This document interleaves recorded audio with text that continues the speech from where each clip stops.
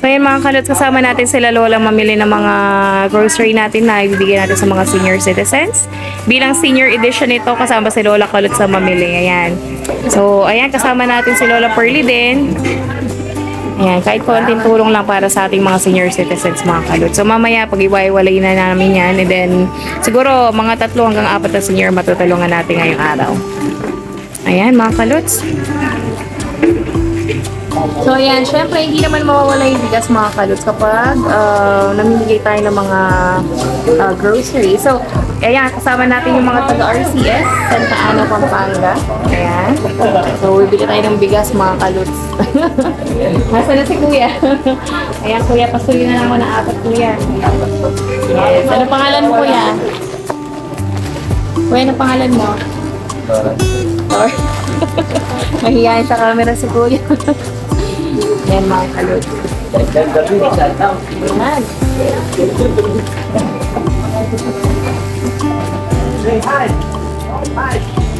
Yan, sisipag ng mga CS. okay na, ito pa. Ayan, so hindi naman siya sobrang dami. So kahit konti lang mga kalots, at least ma matulungan natin yung mga seniors natin. Ayan, bilang celebration sa ating World Senior Citizens Day, uh, we celebrated it last uh, August 21st. Uh, pero dahil nga may trabaho tayo, kahit late, ayan, i- uh, ano pa rin natin mga kalots. Alright, I, I think okay na. Ah, okay, sige, sige, okay na nga. Harap na lang ako ng isa pa. Ayan. Hello, Lola. Hello. so, ayan mga kalits, malapit na tayong matapos. Hindi na tayo sa RCS. Ano, Pampanga. Meron na tayo neto, no? Meron na, meron na yan. So, basic necessities lang ang ating sabihin mga kalits. Maaari kang mag-iwaman tayo ng na natin.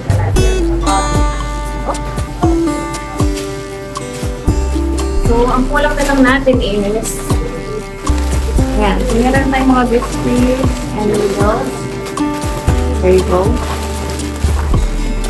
And canned goods, mga kalots. Para meron silang mga ulam kapag halimbawa, lalo na tag-ulan. Ika, of course. May ano yan, toyo tsaka suka. Toyo, suka, yan. Okay, meron silang ano, meron silang iinumin. Eh, bakit papakita lang namin mamaya. So, ngayon punta muna na kami ng counter. Ayan. Para maayos na natin Go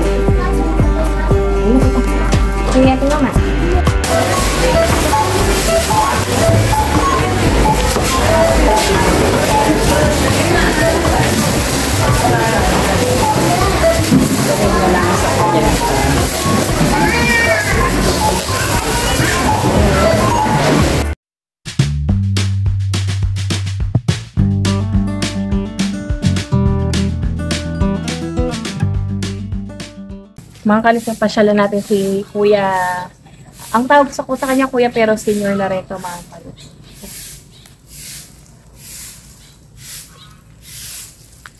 Kuya, basta ka naman. Ayos na. Ah, gabi, pag gabi na mga kalis, ah, kaka, kaka-out lang natin sa trabaho. Ayan. Um, ayun kasi nag-interview kami ng mga seniors. Kuya, eh, naisip ko, kasi kada punta namin dito, mga kalit siya talagang naglilinis ng ano ni, ni tatay. Ayan, sabi ko, ay, senior edition pala. Bigla ko naisip, pwede pala to si kuya. Bigla siya pumasok sa isip ko kasi ang tagal na niya nakatira dito mga kalit. Ilang taon ka na nakatira, kuya, dito? Liman. Manahili ko yung mic kasi baka yung time marin. Yan. So, five years ka nang nakatira sa ano, sa. Tapos yung mga anak mo kuya, May mga tao. yung asawa. Nung kabataan nyo, ano po yung pinaka naging trabaho? Nag-report ko din ako. construction po. Hindi po kayo nakapag-aral. And isang tubo po talaga kayo or taga, taga Pampanga po kayo. Subo kami. Ay, taga Bicol po kayo, tay. Ay, okay. And paano po kayo nakarating dito sa atin? Nagpangita kami ng nakita ko ito. Kaya yung kukuha niya ng certificate. Ah, pumunta ng Bicol yung si kapatid mo na nagtatrabaho dito. Kumuha ng certificate. Tapos sinama na po niya kayo dito. Ah, okay. So, five years na from, ano po, Oo, matagal yan. ang tagal na. Yun yung asawa niyo po, kuya. Yung sama kong tulong, yung naghiwalay kami. Ay, walay sila ng una niyang asawa. Tapos, nag tumama siya sa iba eh. May anak ng dalawa ron. Ay. Tapos, yung nagtagal ang panahon, yun, yung 2019, nagyaon siya. Wala na siya. 2019. Ganun pala, ganun pala yung story ng buhay. Hindi ko kasi alam dahil si kuya pagpupunta lang kami dito. Pero matagal kami noong 1988. 1988 po kayo pinasal. No, 19... Oh, it's 1988. Tama, Dalawa- tagal. Kinasal kami, dalawa na anak namin. Ayun pala. So, yun pala yung story ng buhay ni... Ano pangalan po yan?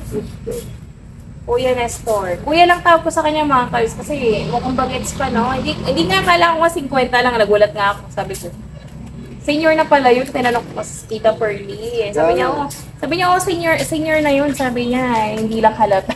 kasi smiling Ah, face gawa na ng kuya. ano no? eh, 1963. 1963, ayan. Yung tatay ko mga kalusan, dito kami nyo, kung mapapansin nyo, nasa cemetery kami, ayan, sa, sa Heaven's Place, Santa Ana. So, nagtrabaho pa tayo and medyo ginabi na tayo mga kaluds. Pero sabi ko, interview ko na si Kuya kasi yung World Senior Citizen Day natin ng August 21st. So, kahit late na, ayan, bigyan pa rin natin ng kupuri yung mga seniors natin. Ayan, yun yung sineselebrate natin ngayon, kaya tayo nag-interview. Yung mga seniors na may babahagi nila yung kwento nila. Tapos, kuya, kung ikaw naman may may advice ka dun sa batang Nestor, anong ma ano namang may advice mo kuya? Kung sa akin, kahit hindi nakapag-aral, kung mapagkikita, pagkakasada, sipag, kahit pa paano, nabubuhay na. Sipag tiyaga, kuya. Hanggang ngayon, na sobrang sipag mo, kuya. Na, nakikita ko kada punta namin dito, wala, hindi pwedeng wala siyang ginagawa. Ito lang kasi ang pinakang ano ko dito. Saan po kayo, ay, nagwawa, oh, po, nagwa, Magugupit lang yun. Alam mo, nag-grass cut, tsaka maglilinis. Saan po kayo nakatira, tay? Dito na, sa Silino. Ay, eto tay. Mapakita natin. Ang ganda naman ng tirahan mo tay. Ayan mga kalos, dito pala siya nakatira sa Muscoleo. Pero ayoko nang pumasok ha. Mga kalos sa private property na yan. Ayan, so before that, alam ko doon siya nakatira. Di ba kuya doon sa maliit Dati doon na... ako nagluluto. Ayan po. So ma- dun, dati nakikita ko siya malapit doon sa puntod ni tatay, maliit na ano, yung da- lumang parang room, yung ano niya. Ayan, meron meron pala nagtiwala sa kanya na dito siya pa ano yun. At ilang taong ka na diyan, kuya? Dito sa, ano ito, sa loob na ito, tatlong taon na ako dito nagbabanda. Ah, 3 years na rin. So 3 years na rin pala siya. Kala ko talaga doon ka pa rin. nung gawain ito, dito na. Ay, mabuti naman at may nagtiwala kasi mas comfortable yan. Mas komportable naman dito compared dun sa kung makikita yung mga kalots. yung dati niyang tinutulugan, hindi masyado okay Puro na. simento yun. Puro semento sa loob. Kasi one time, naki, naki-CR na rin ako doon. Eh, sabi ko, parang ano, hindi comfortable si kuya dito. Ayan. So ngayon, na, na-realize ko lang yung ano ni kuya, medyo, ang, ang galing na kasi sabi ko kung ako dito, medyo hindi ako masyadong comfortable matulog. Sana yan. Nasanay na siya sa cemetery mga kanot. Wala man yung kasi ako sa bahay. Kaya ako natuloy. Ay, okay lang yan kuya kasi at least positive ka pa rin, lumalaban ka sa buhay. Sabi ko nga magtsaga. Pero at least dito naman, mga kalods, kapag may mga Oh, that anniversary kayo, may nagbibigay ng mga pagkain, ano, ayun. Kasi wala naman silang parang fixed income dito na kuya. Basta pag mayroong nagpalinis, wala. ang, ano. Pag walang nagpapalinis, wala. Ayun pala yung buhay dito sa Ligero. So, yung mga nasa Evans Place, baka gusto niyo magpalinis sa mga pinto. Tawagin niyo lang si Kuya, ayan. So, Kuya, ayan, um, yun lang naman ang questions ko and eh, ano naman may isa-suggest mo or may advice mo sa mga ano, ngayon, kabataan, tsaka yung may mga pamilya, ganyan. Bilang isang senior ka na, alam ko marami ka ng experience na mai-share po, ayan. Kailangan yung pagdadala ng pamilya talaga, nakatutok. Hanap buhay ang pangunahin Hanap po. para kung malimbawa nagkakaanohan man sila, kailangan mag-usap ng maayos para hindi nag-ahantong sa Ay, so hiwalay. mag-asawa daw, kailangan nag-uusap ng maayos para hindi na umahantong sa ano, Mm. sa hiwalay tsaka sa hindi Eh, kami pagkakain. naman, hindi naman nag-away yun. Basta na lang siya umalis.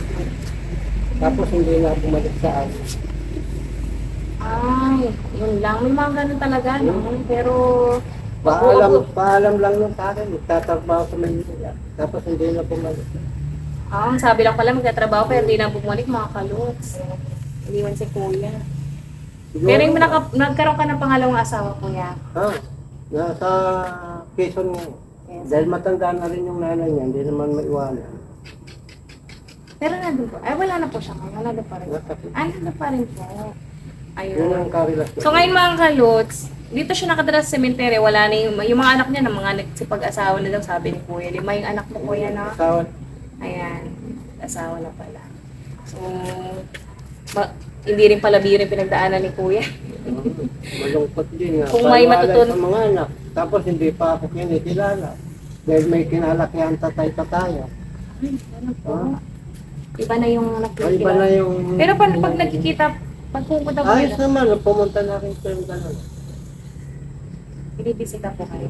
Nung ano, isang bilis lang yun. Ano na ulit, dalawang taon na rin din nagpangunta kami. Bali, sa una yung-. Ay, ganito. Dito Dapat naman mga sa- hindi nyo kinakalimutan yung mga... Sa pangalawa ko, ano, wala man akong tunay na anak. Pero may dalawa naman siyang anak. Gano'n nagmamahal sa akin. Yung mga dalawang anak na sa una. So yung, yung lima po, sa pangalawa na siya. Hindi, sa una talaga yun. Yung ma- lima pong anak Hmm. Una okay. ko yun. Sa pangalawa, wala na akong anak. Kasi il- ano, ilang taon po kayo nung nagsama po kayo ng pangalan? 54 na. 54 na. Gawa ng walong taon na kami.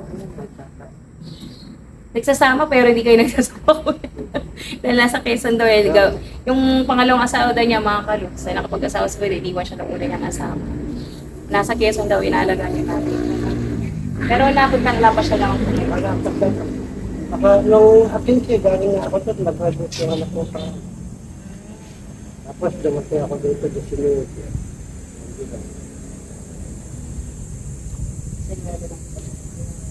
Ayun kuya, eh, baka nagtataka kung bakit kita, ano, ni-interview. Ayun nga, mga kalutsal nga, big, big, uh, bilang pagpuwi sa mga seniors natin, nag-interview tayo ng mga ilang seniors para may share nila yung life story nila, magbigay din ng, ano, ng advice sa mga kabataan, tsaka may matutunan tayo sa experience nila. So, so far, sabi ni kuya, sa, sa experience niya, kahit ganun yung nangyari, parang tingnan niyo siya, oh, parang ano pa rin, Hindi ako- positive pa rin sa buhay. Hindi ako nag-iisip na kahit ako iniwan. Kaya kung sa tingin nila, bata pa yung mukha ko.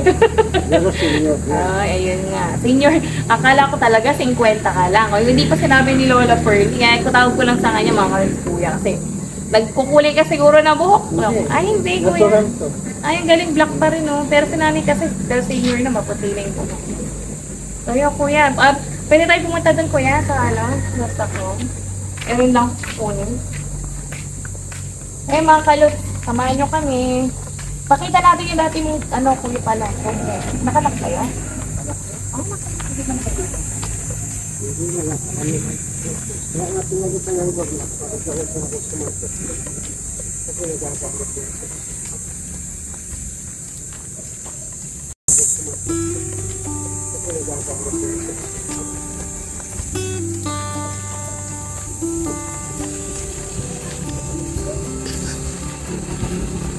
mga kalot, sinabi natin sa kuya.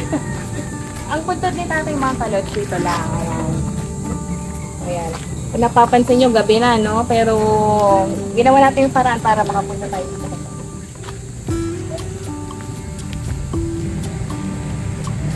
Kalot, so, dahil malapit siya sa puntot ni tatay, tapos one time naka-CR ako, hindi, hindi ko na kaya yung ihi ko nun eh. Sabi ko, kuya, pwede maka-CR. Oo naman siya agad. Ayan, tingnan natin natin.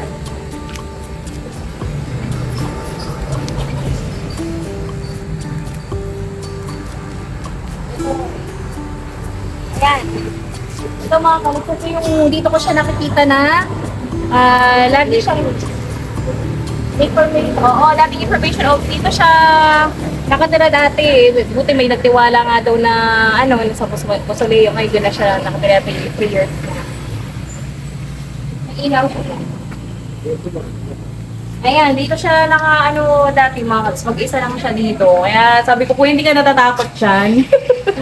Bilang sementeryo. Ngayon, ano, dati po, puno-puno na. Ayan, dati mga kalats, puro semento. Medyo Kaya- madilim nga lang. Ayan. Kaya hindi na ako dito wala Diyan siya tulog. nakatira mga Malikabok. kalats. Ay, galang sa Puro alikabok. Oo, alikabok dito, kaya lumipat Tapos ako yung ng- CR nila mga kalats sa likod. Ayan. Din ako naki-CR sa'yo kuya dati no? Opo. Ang bait nga ni kuya kasi talagang kahit hindi niya ako kilala, oo lang siya dito. Kaya kami mga kalats kapag na, napasyal dito, lagi kong hinahanap yan. Si kuya. So yun mga, ayun kuya. Wala ka na bang may, may share na story sa mga ano? so, so far mga kalats, ayun ang story ni kuya. Na five years na siya nakadala sa sementeryo. And kahit mag-isa lang pala siya, laban lang. Ayan, yung mga anak niya, sana lagi niyo siyang pasyalan kasi ano ba naman yung buhay nila ng tao ngayon, di ba? So, maganda, ano pa rin natin yung mga magulang natin habang nabubuhay pa sila. Kasi kung wala na sila, hindi na natin yan, hindi na natin alam paano natin maipaparamdam yung pagmamahal natin sa kanila. Kaya sa mga anak ni Kuya, sana makapanood, no? Makalutong Pinoy. Ayan, Kuya, ah, bali, salamat sa time mo, Kuya. Tingnan ko smiling face talaga si Kuya kaya nakakatuwa. Parang ramdam mo na welcome ka lagi dito. Parang pupunta ako dito kahit medyo pa late na. Hindi ako natatakot kasi alam mo si Kuya. Lag, agad niyang open yung mga ilaw, ganyan. Nakakatuwa Kuya. Ngayon ko lang nalaman yung kung- pangalan ni Kuya. Tatay Nestor. Hmm. Apelido niya po, Tay. Ano ko, Abril, Lauta. Abril. Lauta talaga yung sa tatay ko. L-A-U-T-A po. Sa nanay ko, Abril. Ah, okay. Kasi tagtubong Bicol po, no? Ayun. May mga kaibigan din ako dati taga Bicol. Eh, shout out sa inyo. Ayan. So, ayan tayo. Thank you. Uh, inistoro pa kita. Anong oras na nakakatulog po? Ano po? Sabi ng gabi. Sabi nga niya, minsan, si tatay daw nakakausap. Pag wala siyang makausap, yung mga patay dito mga kalds, di ba? Pero mga ano kaya, sabi ko, hindi ka ba natatakot? Hindi naman, kinakausap ko pa ngayon sila eh. Ayan. Nakakatuwa, nakakatuwa talaga si Kuya Nelson, napaka-positive. Kaya naisip ko, isa siya sa mga, kasi iba sa atin, parang konting problema lang, bumibigay na, di ba? Eh, what more, pinagdaanan ni Kuya, tapos dito pa siya nakatira kalds. Positive pa rin. Yung iba sa atin, medyo maginhawa yung buhay, hindi naman masyadong na- nakakaranas ng paghirap, pero minsan kung nagre- na- nagreklamo pa tayo, di ba? Yan. So, kuya, isa sa mga, ano natin, ah, role model na senior, ayan. Kaya basta kuya, laban ka lang ha. Okay. Oh, basta, Hindi nag- basta pag pupunta kami dito, laging nandiyan ka lang, huwag kang aalis. Or kung aalis ka man, yung talagang bumuti na laging buhay mo, ganyan. So far dito, okay naman daw siya mga kalos. Dalawa sila ng ate niya, no? Nagdala siya sa kanya dito. Eh ngayon, nasa Pampanga na siya. Ayan, shoutout mo yung mga taga Bicol mo yan. Ah, may mga kamag-anak ko po kayo doon. Marami pa, mga pinsan ko. Ah, bihira na po kayong uwi. Ba't nung mapapunta ko yun, hindi ko na yung sila napupunta. Balik ako. Okay, sige kuya, ba? Mali mo, hindi naman kasi yabang ng buhay, ganyan lang ang buhay namin. Mali mo, balang araw. Diba? Ayan, so kuya, ah, samahan mo ko dun sa ano. Ayan. Iba pa kuha na. Hindi ka, kuya.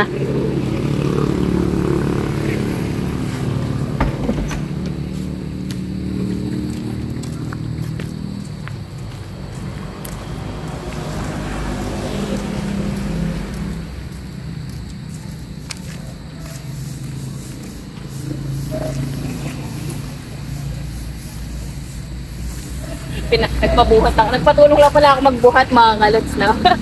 ayan. Ayan, tatay, bibigay lang ako sa'yo kahit konting ano lang, ayan. Paku, pakuha na lang tayo. Bitaw kong walis.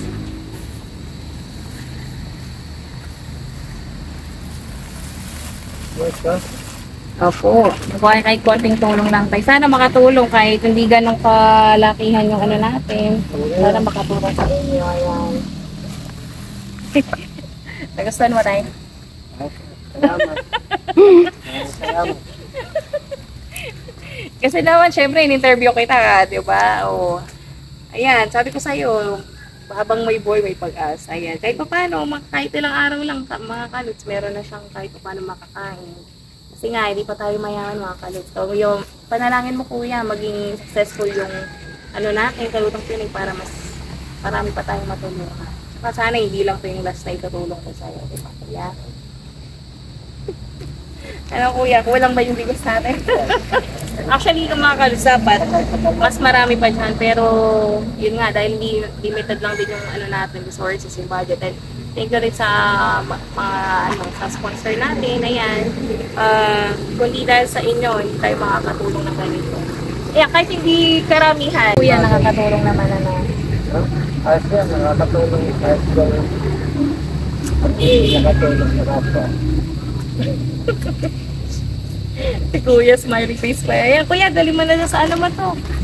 So, ang ano natin, mga kalut grocery, tsaka bigas. Ayan.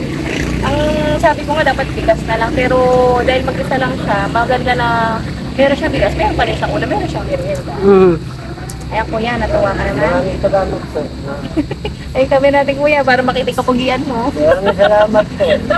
Kuya Nestor, maraming salamat. Tsaka patuloy mo lang yung pagiging masipag mo dito. Tsaka sana mas marami pa dito na tumulong sa'yo, hindi lang tayo. Ayan, Mga kaluts. Kaya sa mga gusto pang tumulong ah, sa Kalutong Pinoy para mas marami matulungan. Welcome po tayo lagi dito. Mag- Mag-message lang po kayo sa Facebook and then yan, subscribe niyo po yung Kalutong Pinoy and then ah, share niyo po. Malaking tulong na po sa amin yun. Ayan kuya, iwan ka namin dahil medyo pagabi na. Maraming salamat sa time mo kuya. Salamat po. Saka lagi mo alagaan yung putol ni tatay. Ayan mga kaluts. Thank you. Ayan, ate ko ba kita? Hindi na. Ah, sige. Salamat po. Thank you din kuya. Dahil mo, hindi nga ba doon nakatira? Doon ako sa makabila pa So ayan mga kaluts, ang saya-saya ni tatay. Ang galing. Ang galing ng kalutong Pinoy na may napasaya na naman tayo.